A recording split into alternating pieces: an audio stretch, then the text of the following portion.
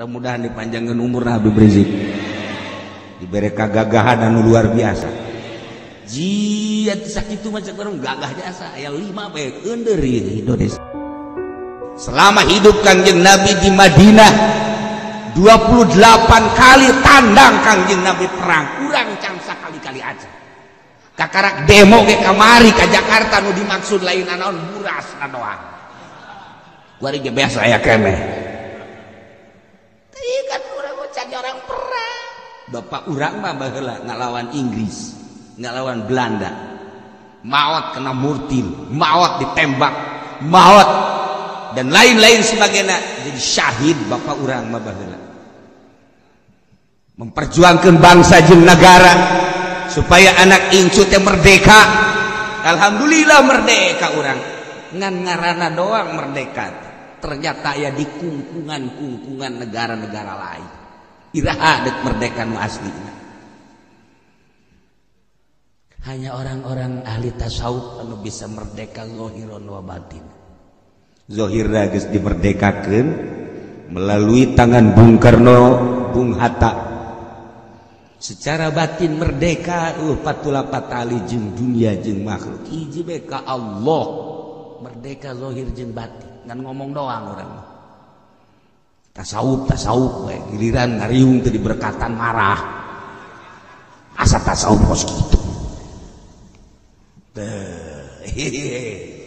merdeka ke lawan gura-gura ialah keistimewaan perang badar dengan perang Islam luhur al Islamu ya'lu wa la yu'lal sebab di dulu kawawanenan Islam melalui praang di perang dulu sahugahurani sahu cowong sahu ner-benar telak sahu benar-benar siap kehalpan diper namun orang meritakan tentang politiklah Jakarta teyahoo urusan politik tapi urusan gagah yang mengakui Habib Rizik gagah